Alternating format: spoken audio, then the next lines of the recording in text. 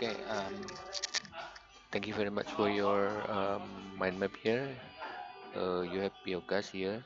Why should biogas? You have uh, three things here: the production, 'cause it's cheap, the fuel, and so on. Ecological, uh, then prosperity, um, generate environment, and so on and so on. In other words, this is the production side. This is the ecological benefit. This is more on um, benefit from the economic value. Yeah, very good mind map, even though it's simple. Now let's have a look at your um, sentence.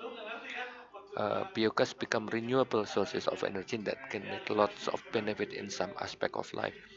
Gini, uh, renewable sources of energy, okay, that can make lots of benefit. Um, lots of benefitsnya apa?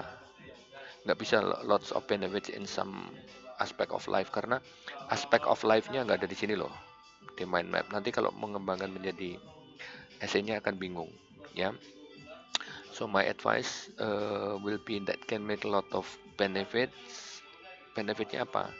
Kalau saya yang lihat di sini mungkin ada uh, ecological or something related with environment. Terus sama economic uh, value itu benefitnya karena ini ada prosperity sama ada uh, apa production dibandingkan dengan yang lain. Mungkin itu. Jadi kalimatnya ini perlu diubah tidak terlalu umum. Ya, kalau terlalu umum repot. You have to be focused on that. Ya, karena mind map it's a, the beginning of thinking before you write an essay. Gitu. Thank you.